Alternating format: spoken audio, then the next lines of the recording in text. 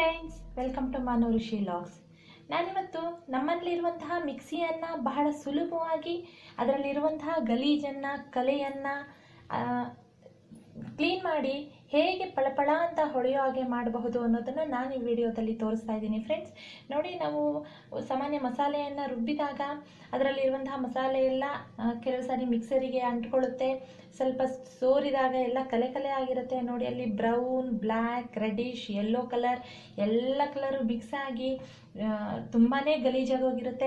Life ಇರುತ್ತೆ. ನಾವು ಅದರಲ್ಲಿ ಪದೇ ಪದೇ ಕ್ಲೀನ್ ಮಾಡ್ಕೊಳ್ಳೋಕ್ಕಾಗಲ್ಲ ಹಾಗೆ ಬಿಟ್ಬಿಡ್ತೀವಿ. ಅದೆಲ್ಲ ಹಾಗೆ ಕಲೆ ಅಂಟ್ಕೊಳ್ಳುತ್ತೆ. ಅದರಲ್ಲಿರುವಂತಹ ವಯರ್ನಲ್ಲೂ ಸಹ ತುಂಬಾ ಕಲೆ ಅಂಟ್ಕೊಳ್ಳಿರುತ್ತೆ ಇದನ್ನು ಬಹಳ ಸುಲಭವಾಗಿ ಮನೆಯಲ್ಲೇ ಹೇಗೆ ಕ್ಲೀನ್ ಮಾಡ್ಕೊಳ್ಬಹುದು ಅಂತ ತೋರಿಸ್ತಾ ಇದ್ದೀನಿ.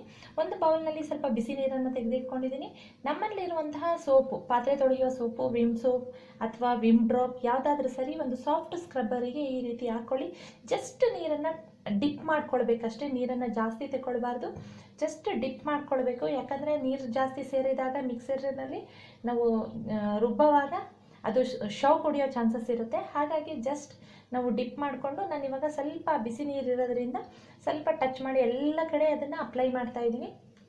ಸೋಪ್ ಸೋಪ್ ಜಾಸ್ತಿ ಹಾಕೊಳ್ಳೋ ಅವಶ್ಯಕತೆ ಇಲ್ಲ ಜಸ್ಟ್ ಒಂದೇ ಒಂದು ಸ್ವಲ್ಪ ಇಟ್ಕೊಂಡ್ರೆ ಸಾಕಾಗುತ್ತೆ. ಅದು ಸ್ಕ್ರಬ್ಬರ್ನಲ್ಲಿ ಜಾಸ್ತಿಯಾಗಿ ಈ ರೀತಿ ಎಲ್ಲ ಕಡೆ ಫಸ್ಟು ಅಪ್ಲೈ ಮಾಡ್ಕೊಳ್ಳೋಣ. ಆವಾಗ ಎಲ್ಲ ಕಲೆಗಳು ಸ್ವಲ್ಪ ಸಾಫ್ಟ್ ಆಗುತ್ತೆ. ನಾವು ಬಿಸಿ ನೀರನ್ನು ಇಲ್ಲಿ ಯೂಸ್ ಮಾಡ್ತಾ ಇರೋದ್ರಿಂದ ಕಲೆಗಳೆಲ್ಲ ತುಂಬ ಬೇಗ ಸಾಫ್ಟ್ ಆಗುತ್ತೆ. ನಾವು ಅದನ್ನು ತುಂಬ ಉಜ್ಜಿದ್ರೆ ಮಿಕ್ಸಿ ಸ್ಕ್ರಾಚಸ್ ಆಗೋ ಚಾನ್ಸಸ್ ಇರುತ್ತೆ. ಹಾಗಾಗಿ ಈ ರೀತಿ ಲೈಟಾಗಿ ಒಂದು ಅಪ್ಲೈ ಮಾಡಿ ಒಂದು ಎರಡು ನಿಮಿಷ ಬಿಟ್ಟಾದ ನಂತರ ಈ ಥರ ಲೈಟಾಗಿ ಅದನ್ನು ಪ್ರೆಸ್ ಮಾಡ್ತಾ ಉಜ್ಜುತ್ತಾ ಬಂದರೆ ಸಾಕು. ತುಂಬಾ ಚೆನ್ನಾಗಿ ಎಲ್ಲ ಕಲೆಗಳು ಬೇಗನೆ ಹೋಗುತ್ತೆ. ತುಂಬ ಈಸಿಯಾಗಿ ಹೋಗುತ್ತೆ. ಬೇರೆ ಬೇರೆ ಏನೇನೋ ಪದಾರ್ಥಗಳನ್ನು ಬಳಸಬಹುದು. ಕೆಲ, ನಾವು ಇದಕ್ಕೆ ಬೇಕಿಂಗ್ ಸೋಡಾ ಮತ್ತು ನಿಂಬುವನ್ನು ಸಹ ಬಳಸಬಹುದು. ವಿನಿಗರನ್ನು ಬಳಸಬಹುದು. ಆವಾಗಲೂ ಸಹ ಮಿಕ್ಸಿ ಜಾರ್ ತುಂಬಾ ನೀಟಾಗುತ್ತೆ.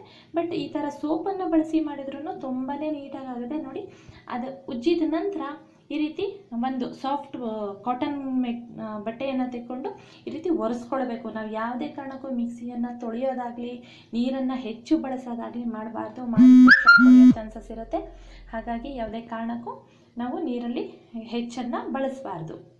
ನಂತರ ಇಲ್ಲೆಲ್ಲ ಹೋಲ್ಗಳಲ್ಲಿ ಸಂಧಿಗಳಲ್ಲೆಲ್ಲ ತುಂಬ ಸೇರಿಕೊಂಡಿರುತ್ತೆ. ಅದಕ್ಕೆ ಈಸಿಯಾಗಿ ನಮ್ಮ ಕೈ ಮೂವ್ ಆಗಲ್ಲ. ಈ ಥರ ಪ್ರಶ್ನೆ ಸಹಾಯದಿಂದ ಈ ರೀತಿ ಜಸ್ಟ್ ಉಜ್ಜಿ ಕ್ಲ, ಮೇ ನಾವು ತೆಗೆದಿಟ್ಕೊಂಡ್ರೆ ಅದು ಆರಾಮಾಗಿ ನೋಡಿ ಎಷ್ಟು ಚೆನ್ನಾಗಿ ಕ್ಲೀನ್ ಆಗ್ತಿದೆ ಅನ್ನೋದನ್ನು ನೀವೇ ನೋಡ್ತಾ ಇದ್ದೀರಾ. ಇವಾಗ ಈ ರೀತಿ ಆ ಹೋಲ್ನಲ್ಲಿ ಸ್ಪೇಸಲ್ಲಿ ಸೇರ್ಕೊಂಡಿರುತ್ತೆ. ಆವಾಗ ಮೆಟ್ ಬಟ್ಟೆಯನ್ನು ಹಾಕ್ಕೊಂಡು ಜಸ್ಟ್ ಈ ರೀತಿ ಜಿಗ್ಜ್ಯಾಗ್ ಆಗಿ ಮೂವ್ ಮಾಡಿದರೆ ಸಾಕು, ಅಲ್ಲಿರುವಂತಹ ಎಲ್ಲ ಗಲೀಜು ಬರುತ್ತೆ. ಕೆಲವು ಸರಿ ತುಂಬ ಇನ್ನೂ ಸ್ಮಾಲ್ ಸ್ಮಾಲ್ ಕಟ್ಟಿಂಗ್ಸ್ ಇರುತ್ತೆ ಅಲ್ಲ? ಈಗ ನೋಡಿ, ನೋಡ್ತಾ ಇದ್ದೀರಾ? ಆ ಕಟ್ಟಿಂಗ್ಸಲ್ಲೆಲ್ಲ ಅಷ್ಟು ಈಸಿಯಾಗಿ ಬ್ಲ್ಯಾಕ್ ಆಗಿರುವಂಥದ್ದು ಹೋಗಲ್ಲ. ಆವಾಗ ಒಂದು ನೈಫನ್ನು ತೆಕ್ಕೊಂಡು ಜಸ್ಟ್ ನೈಫನ್ನು ಡೈರೆಕ್ಟ್ ಹಾಕಿದರೆ ಸ್ಕ್ರಾಚಸ್ ಆಗುತ್ತೆ. ಹಾಗಾಗಿ ಬಟ್ಟೆ ಒಳಗಡೆ ನೈಫನ್ನು ನಾವು ಹಾಕ್ಕೊಂಡು ಈ ರೀತಿ ಜಸ್ಟ್ ಮೂವ್ ಮಾಡಿದರೆ ಅಲ್ಲಿರುವಂತಹ ಎಲ್ಲ ಗಲೀಜನ್ನು ತುಂಬ ಸ, ಬೇಗನೆ ಈಸಿಯಾಗಿ ಮೂವ್ ಮಾಡ್ಕೊಳ್ಬಹುದು. ಇಯರ್ ಬೆಡ್ಡನ್ನು ಬಳಸ್ತಾರೆ. ಇಯರ್ ಬೆಡ್ಡಲ್ಲೂ ಅಷ್ಟು ಈಸಿಯಾಗಿ ಹೋಗಲ್ಲ ಬಟ್ ಈ ಥರ ಶಾರ್ಪ್ ಇರುತ್ತೆ.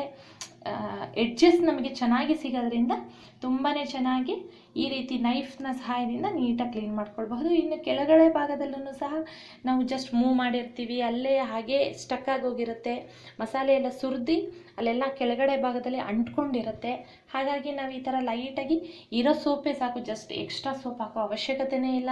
ವಿಮ್ ಡ್ರಾಪ್ ಯಾವುದಾದ್ರೂ ಡಿಶ್ ವಾಶ್ ಸೋಪ್ ಡ್ರಾಪ್ಸ್ ಆದರೂ ಆಗ್ಬೋದು ಅಥವಾ ಸೋಪ್ ಆದರೂ ಆಗ್ಬೋದು. ಜಸ್ಟ್ ಒಂದು ಸರಿ ಹಾಕ್ಕೊಂಡಿದ್ರೆ ಸಾಕು. ಅದೇ ಫುಲ್ ಮಿಕ್ಸರ್ನ ನೀಟಾಗಿ ಕ್ಲೀನ್ ಮಾಡೋದಕ್ಕೆ ಸಾಕಾಗುತ್ತೆ. ಒಂದು ಬಟ್ಟೆ ಸಹಾಯದಿಂದನೇ ನಾವು ಯಾವಾಗಲೂ ಒರೆಸ್ಕೊಳ್ಬೇಕೇ ವಿನಃ ನೀರನ್ನು ಯಾವುದೇ ಕಾರಣಕ್ಕೂ ಹಾಕಬಾರ್ದು.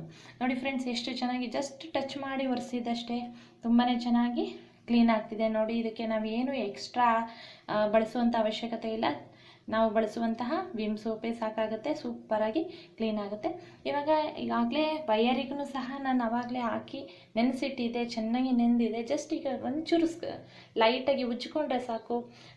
ವೈಯರೂ ಯೆಲ್ಲೋ ಕಲರ್ ಆಗೋಗಿರುತ್ತೆ ತುಂಬಾ ಬ್ಲ್ಯಾಕಿಶ್ ಆಗಿ ಒಂಥರ ಬ್ರೌನ್ ಕಲರ್ ಆಗಿ ತುಂಬಾ ಕಲೆಯಾಗಿರುತ್ತೆ ಇಲ್ಲಿ ಎಲ್ಲ ನಾವು ಹೆಚ್ಚು ನೀರನ್ನು ಬಳಸ್ಕೋಬಾರ್ದು. ಯಾಕಂದರೆ ನಾವು ಅದನ್ನು ಇಟ್ಟಾಗ ಶಾಕ್ ಹೊಡೆಯುತ್ತೆ.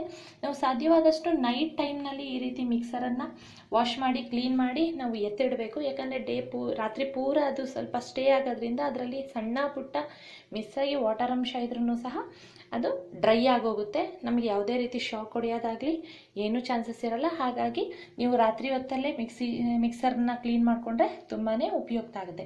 ನೋಡಿ ಫ್ರೆಂಡ್ಸ್ ಎಷ್ಟು ಪಳಪಳ ಅನ್ನೋ ಹಾಗೆ ಮಿಕ್ಸಿ ಎಷ್ಟು ಚೆನ್ನಾಗಿ ಕಾಣ್ತಾ ಇದೆ, ಎಷ್ಟು ಕ್ಲೀನಾಗಿ ಆಗಿದೆ ಅದು, ಹಾಗಾಗಿ ನಾನು ಈ ಟ್ರಿಕ್ಕನ್ನೇ ನಮ್ಮ ಮನೆಯಲ್ಲಿ ಬಳಸೋದು. ನಿಮಗೂ ನಾನು ಬಳಸುವಂತಹ ಈ ಟ್ರಿಕ್ ನಿಮಗೆ ಇಷ್ಟವಾಗಿದ್ದರೆ ಲೈಕ್ ಮಾಡಿ. ಇನ್ನೂ ಇಷ್ಟವಾಗಿದ್ದರೆ ನಿಮ್ಮ ಫ್ಯಾಮಿಲಿ ಫ್ರೆಂಡ್ಸ್ ಜೊತೆ ಶೇರ್ ಮಾಡಿ.